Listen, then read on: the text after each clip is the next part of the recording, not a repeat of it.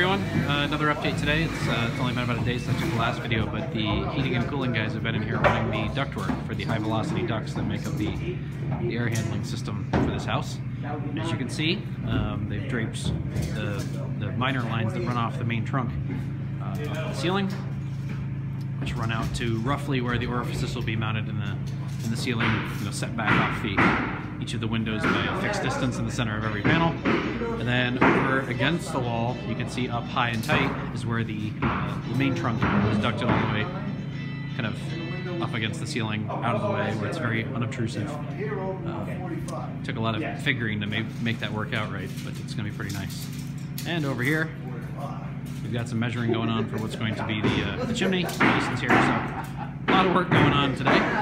Anyway, that's kind of what's going on right now. Thought I would just share that with you. Thanks.